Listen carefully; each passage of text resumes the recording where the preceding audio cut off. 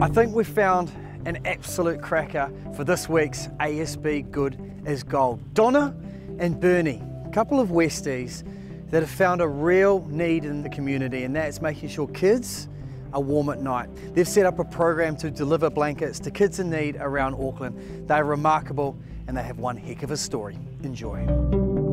It's such a simple thing to give a kid a blanket. Nobody wants to be cold, and every night that I tuck my kids into their warm beds, you know, I just spare a thought for families out there that are trying to do the same.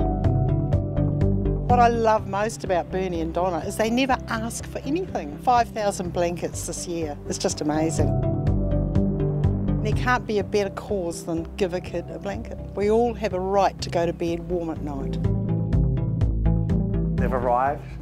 They think it's a morning tea, but it's much more, obviously. Laurie. Hi, welcome. Hi. oh my gosh, my baby. Suspicious. Come here. Come here. We've lost one. We've got a runner. She's gone. It's not fair. You go. Oh, I'm so going. Come here.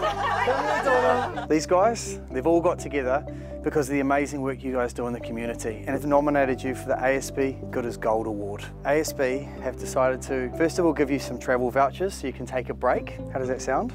Fabulous. How does $6,000 worth of travel vouchers sound? Very good. Sorry, you've caught us off guard a little here. Doesn't often happen. And when it comes to cold kids, they need blankets. It's such a simple cause, but such an amazing thing you guys do. So they also want to give another $4,000 for blankets. You guys can keep doing what you're doing. Fantastic. Thank you, guys.